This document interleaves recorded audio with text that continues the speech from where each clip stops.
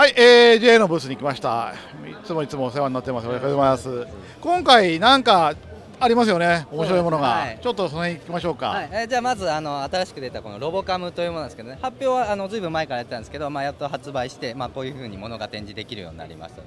まあ、基本席はあのあると思うんですけど、まあ、ソニーさんのカメラを使っててで一応、えー、と 4K までいけますとウルトラ HD までいけて、えー、とかつですね、まあ、AJ がじゃあソニーのカメラベースに何をしたかっていうところなんですけど、まあ、コンバーターメーカーなんで後ろのアウトですね今これイーサネットでつながってますけど、まあ、イーサネットで、えー、とビデオ信号最大 4K まで 4K、えー、と 30p まで運ぶことができるという形ですねでこっちが、えー、とレシーバーの方ですね受けてで今アウトが HD アウトで出してますけどこれちょっと後ろ見見ても大丈夫？はいです後ろどんな感じの？あもうすごいシンプルなんですね。はい、そうですね。でこの、まあ、HDBSD という企画でやってるんですけど、まあ、これビデオ信号だけじゃなくて、まあ、オーディオ信号あとリモートコントロールと電源供給もこれでいっているのでこいつ自体はここから電源をもらっているので、まあ、ここの AC ですね。こいつに AC をしてあとこう電源供給はここあのこっちから行っていますので、まあ、ここに、えー、と逆にあ、えー、とプラス AC とかっていう電源はいらないという形ですね。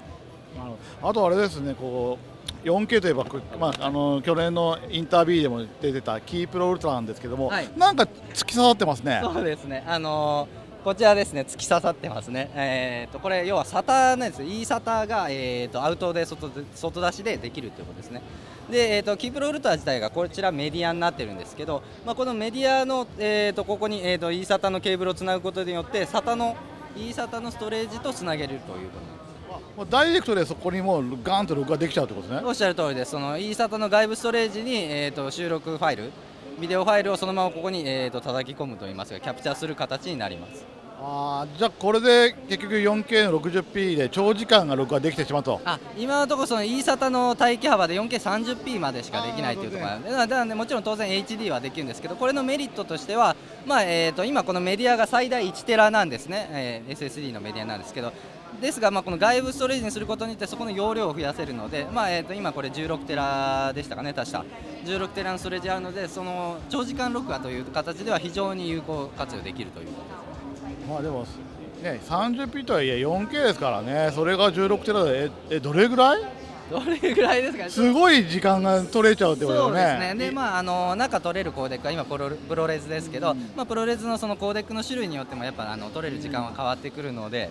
でまあ、中のその SATA の、えー、とストレージの方のディスク容量でも変わってくるので、ととはいえこれ1個あればもう1日いけましいっちゃいますよね下手するとね。そうですねで、まあ、ちょっと気をつけてほしいその eSATA のストレージ何でも使えるわけではなくてやっぱりあの、まあまあまあしょうがないねはいですねあの速度が 遅いのが、まあ、無理なので、まあ、こういったレードストレージで使う形になります。あとねこの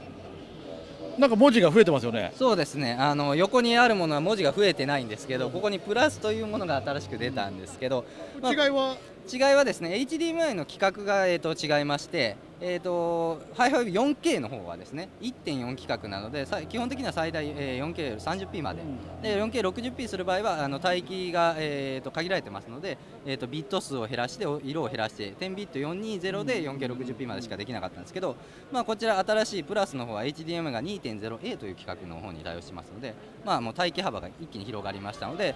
えー 4K60p、10ビットであれば422もちろん444まで、えーできるという形になっております。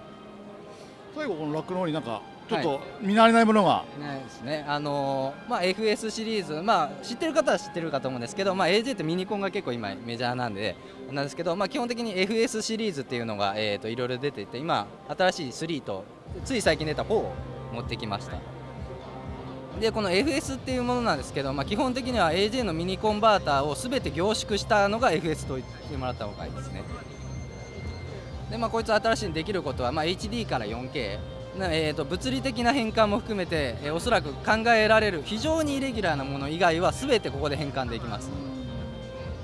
もうこれは出てるんですよね？そうですね。あの出たばっかりでやっと持ってこれたっていう感じですね。まだ国内もこのデモ機1台しかないのなんですけど、まあ、今からいろいろ出ていきます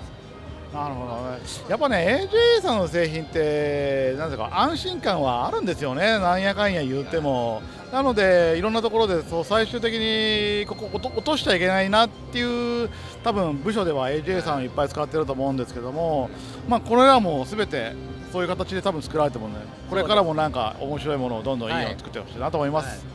どうもありがとうございました、はい、ありがとうございました